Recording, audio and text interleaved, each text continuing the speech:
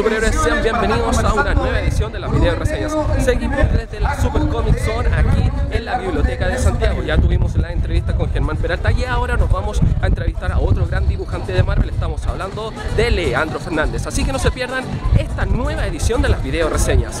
Fanáticos de los superhéroes, estamos con otro entrevistado de lujo. Estamos con Leandro Fernández. Muchas gracias Leandro por estar aquí en mi canal de todo un poco. Eh, de todo un poco en cómics. Eh, bueno, dibujante argentino, ha tenido muchas trayectorias dibujando con Marvel, ya eh, has dibujado Punisher, Deadpool, entre otros. Cuéntanos, ¿qué ha sido trabajar para una editorial como Marvel? Eh, bueno, fue una, aparte del gusto de poder trabajar, de hacer, trabajar con escritores importantes y, y a los que admiro, eh, fue una oportunidad también de mucho aprendizaje, de, de mucho trabajo, de, al lado de gente muy profesional, con libros muy populares, muy positivo. Una, y fue una etapa larga, bastante tiempo que estuve trabajando en Marvel. ¿Cómo fue llegar a Marvel? ¿Cómo llegaste a Marvel primero? Eh, bueno, en su momento llegamos a Marvel viajando y tratando de, conocer a la gente que trabajaba ahí y en esas épocas ni sabíamos de que existían las convenciones, íbamos simplemente a, la editorial, nos presentamos, mostramos trabajo y bueno, después hemos hecho pruebas, después de un tiempo eh, han, eh, nos han, enviado trabajos, guiones para hacer. Es lo que digo siempre, por ahí lo bueno está tratar de conseguir trabajos nuevos más que tener la primera oportunidad, eso fue lo más difícil. Y de los trabajos que has hecho en Marvel, ¿cuál ha sido el que más te ha gustado?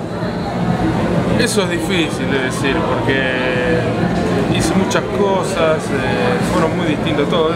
En realidad, en el momento que los hice, cada uno puse lo mejor de mí, digamos, lo hice con la mejor intención y todo.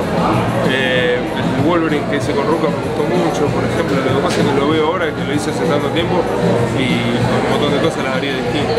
El Punisher también, historia no podría elegir ¿Y cómo ha sido la evolución de Leandro Fernández desde que comenzó hasta ahora?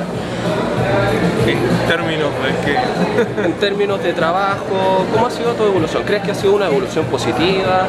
¿Crees que te has estancado un poco? No, yo creo que, o sea, quiero creer que fue positiva, eso no lo puedo juzgar yo. Eh, sí te puedo decir que tengo una intención de, ir hacia un lugar. Y ni bien empecé a trabajar probablemente no lo sabía, pero lo fui descubriendo a medida que fui trabajando, viendo realmente para qué lado quiero ir, qué cosas quiero hacer. Quiero tener un estilo personal, quiero eh, desarrollarlo, quiero hacer las cosas lo mejor posible, pero voy a hacerlo, tengo una intención. No, no, no voy en piloto automático. Espero que se note. ¿Y cómo ves la industria del cómic hoy? En general, no solamente de Marvel, sino que en general la industria del cómic. Ay, yo creo que se están haciendo eh, muy eh, amplia la, la, la, producción, o sea, se está haciendo de todo en muchos lugares. O sea, los lectores tienen la oportunidad de leer cosas muy buenas, muy distintas, en, de, producido en diferentes partes del mundo, y eso es positivo.